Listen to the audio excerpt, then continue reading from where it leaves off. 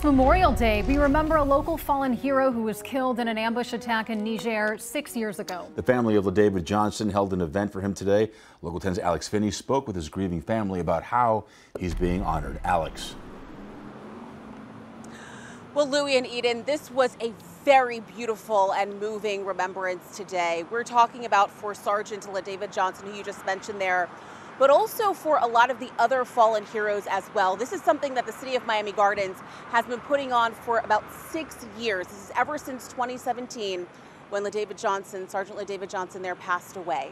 His family, they were in the audience today and we actually heard from his mother as well and she had very moving words as of course the South Florida community has continued to wrap their arms around them. This city of Miami Gardens remembering our fallen heroes at the Sergeant LaDavid Johnson Memorial Day breakfast. Miami Gardens still, still represent him. As they have done for the past six years. Sergeant Johnson's family, as well as other Gold Star families, were honored in the most heart-filled way. And to all the Gold Star families, you know, we, we send our love, we send our support. Miami Gardens is here. We're a city that cares. Retired U.S. Army and Air Force veteran Maxine Reyes was the keynote speaker this year.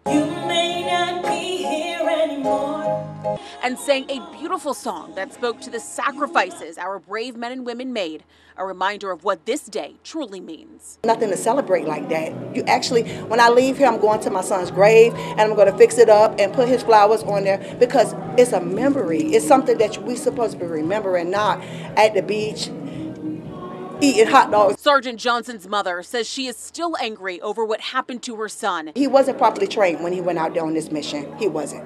So now that I see other soldiers coming back home, it makes me feel a whole lot better. A gentle reminder for her that Sergeant LaDavid Johnson is still remembered today and every day as he also lives on through his wife and three children. Alicia is 11, LaDavid is 8, and the baby is 5. I just went from her graduation. Uh, she graduated to go to kindergarten.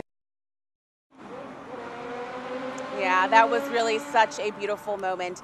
And as she said and, and continued to say throughout our interview, that for her, this is really not a day to celebrate. It is a day to remember and it is a day to honor. And certainly that is what we did here today in Miami Gardens. For now, that's the very latest live in Miami Gardens on this Memorial Day. Alex Finnie, Local 10 News.